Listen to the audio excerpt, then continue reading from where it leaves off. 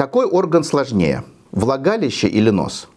Не потому, что я врач оториноларинголог и занимаюсь профессионально заболеваниями уха, горла, носа уже более 20 лет. И, безусловно, люблю эту профессию. Нос и слизистая полости носа, как ни странно, интимнее. Если мы говорим про влагалище, то эта история обусловлена резко кислой средой. Кстати говоря, как и наружный слуховой проход, мы закисляем флору умышленно, чтобы все чужеродное погибало. Так вот, нос, представьте себе, это орган, который наполняет кислородом гайморовые пазухи, этмоидальные пазухи, лобные пазухи, основную пазуху, питает кислородом наш головной мозг, именно нос, и именно носовое дыхание. И вот эта вот архитектоника полости носа, другими словами, внутренняя анатомия полости носа, должна быть безупречной. Ничего похожего по сложности, интимности с влагалищем это не имеет. И самое главное, это слизистая